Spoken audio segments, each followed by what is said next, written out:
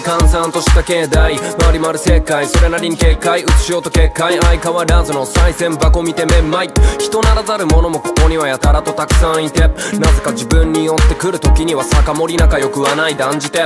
気が向かなくても働く適当によく見る顔見知りも敵と知って。会えば容赦なく目に入れば問答無用海外し妖怪退治。こいつらの相手は疲れる。結局のところ大体な疲れる。好きではないけれども仕方がない。まあ別に悪い気はしない。何でもない。日常だって同じではない特別なワンデイこの日々がなくなるのが不安で時折泣きそうになるなんて。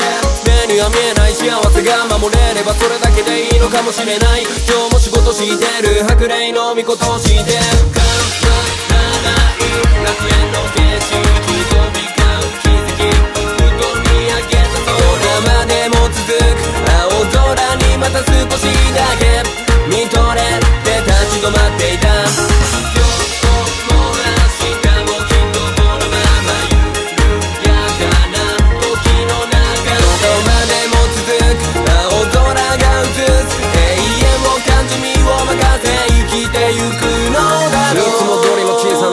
はところ構わずに誰かを困らす。一悶着から一騒動異変のたびにこなす一仕事。幽霊に妖怪。はたまた神でも動機はしょうもない。少しだけのわだかまりなら旗から見たら言うほどわからない。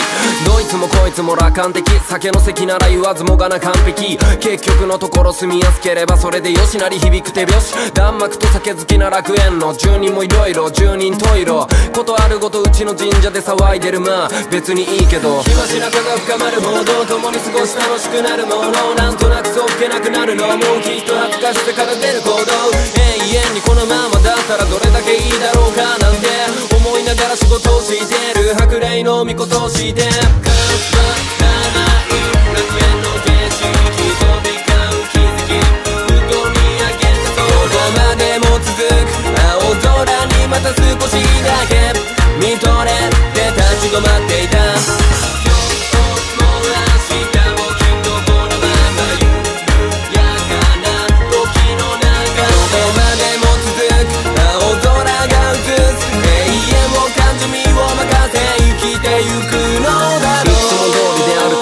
ことに安心して形のないものを信じてる。気のままの生活は居心地よくまた今日もほどほどに酔う夜通し騒ぎ歌い飲んで朝もや匂い残す笑い声飽きないで連日の宴会まあ別につまらなくないしそれでも内心いつも楽しみにしてる人知れずみんなに対し手は気恥ずかしい脳内会議住み着いたい時妖怪退治終わればなぜかすぐに再開し乾杯してる幻想郷にて仕事をしてる今日も京都寺楽園の巫女として